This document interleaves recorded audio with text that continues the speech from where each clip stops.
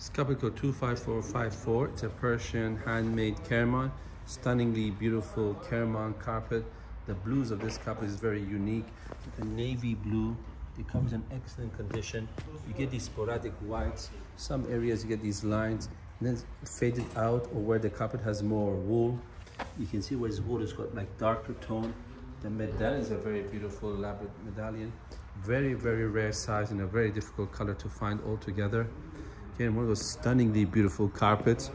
Kerman carpets are very much sought after. The prices keep going higher. They're like the ones we have on the wall. And this one's a very rare size again, in excellent condition. If you have any questions about this carpet or any other carpet in our collection, you can also contact us directly via the WhatsApp number on our homepage and we can send you pictures and video of one more carpet of your choice.